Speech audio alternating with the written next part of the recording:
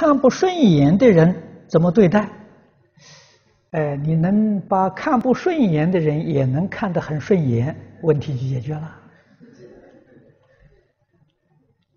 啊，当看不顺眼的时候，回过头来反省检点，检讨自己。啊，我看他不顺眼，他看我也不顺眼呐。不可能说，我看他不顺眼，他看我很顺眼，啊，那人家境界就比我高了，啊，我应当向他学习。那如果彼此都不顺眼的时候，回来检讨自己，啊，我为什么让他看不顺眼？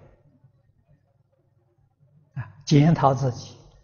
改过自新呐，啊，这个是属于傲慢，啊，傲慢是属于嗔恚，啊，总是贪嗔痴里面的习气。